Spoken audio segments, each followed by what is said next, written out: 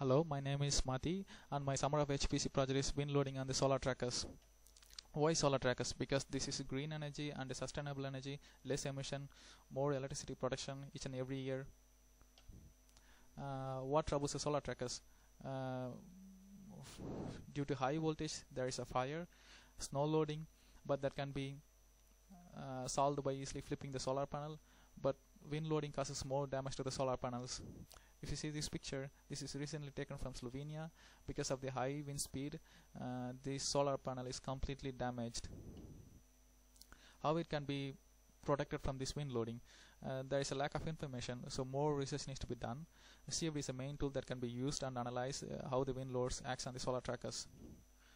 Uh, what is CFD? Computational fluid dynamics is art of solving the Navier-Stokes equations. Uh, so, uh, numerical algorithm which solves these partial differential equations, which uh, which arises uh, in fluid flow problems. Uh, I use CFX for my mm, project, so it is mainly based on the finite volume method, and then it has many schemes. for example, RANS, LES, and DES problem approach uh, be before I further before I start my project I done with this uh, experimental test. From the experimental test I got uh, some results. Based on that results I done the, my simulations.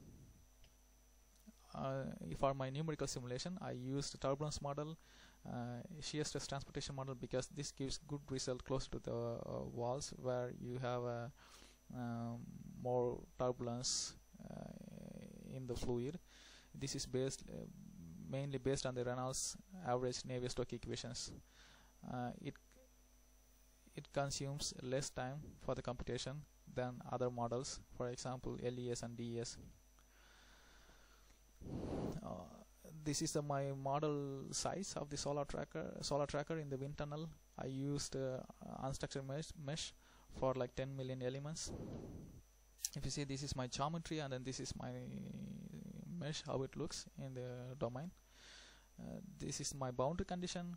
The inlet velocity is 15 meter per second and then outlet is zero and then this is my wall boundary conditions. If you see this picture this is a steady state analysis and then you could see like uh, velocity streamlines. Uh, in the downstream you have more vortex and then turbulence behavior this is uh, wind tunnel test data th uh, that has been taken from this uh, wind tunnel. Uh, since I know now all the values of uh, this wind tunnel test data as well as this my numerical calculations uh, now I extended my simulation into these open domain simulations.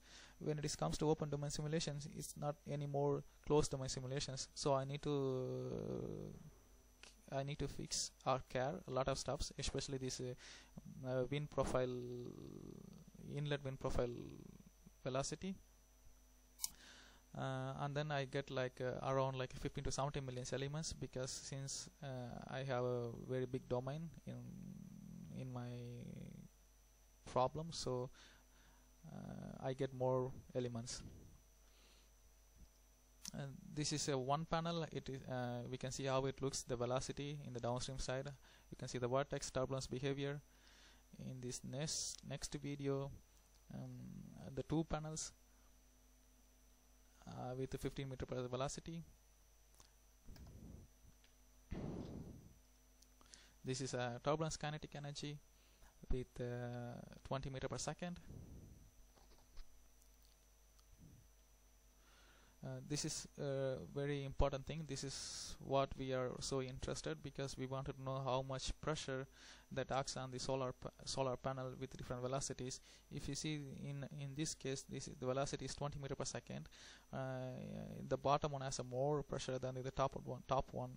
Uh, as well as in the bottom of the solar panel we have less uh, pressure so we might get like kind of lift force uh, if you see these uh, two panels the first panel has a more pressure than the second one because they are like in uh, arranged in array type. So they're in a the second one is in the back side so it, it has a less uh, pressure force than the the first one. So based on these uh, results and then uh, data we could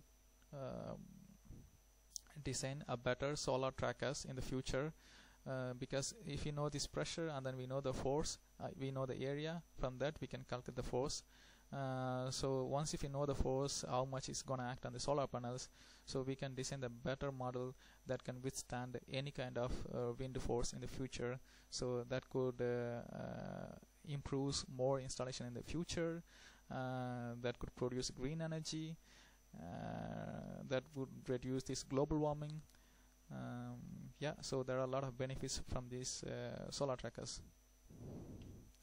Thank you for watching and listening